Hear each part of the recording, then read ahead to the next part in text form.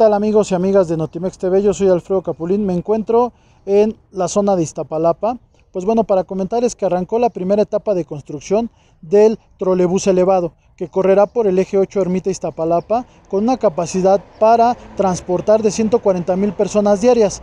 Contará con 50 autobuses con capacidad de 142 pasajeros. En esta primera etapa llegará de Constitución de 1917 a la Universidad Autónoma de la Ciudad de México, Campus Casa Libertad. Pues bueno, esta es la información hasta el momento. Yo los invito a que sigan informados a través de Notimex TV.